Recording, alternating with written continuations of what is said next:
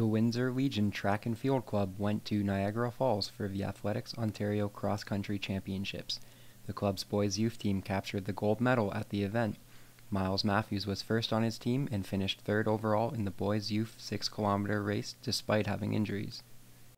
Uh, going into the race, uh, I wasn't sure if I was going to race first of all, but uh, the um, shin, I was just sort of a game uh, game day decision sort of thing. But uh, feeling pretty confident. Uh, hopefully, going to get the win, but didn't happen today. But not too worried. the focus is in two weeks in nationals. Miles's father, Brian Matthews, was the interim coach for the event. The club's regular coaches were in Montreal attending a coaching clinic. Uh, we know we got a real strong team. Um, the youth boys are one of the strongest in Ontario, and we ended up winning the gold medal today, so that was really good. That was our focus coming in to this meet. But our main focus is uh, two weeks from now, going into the uh, Canadian Championships in Vancouver. And we want to win a team title there. We've won six, six years in a row. This will be our seventh year in a row if we, if we happen to win that too.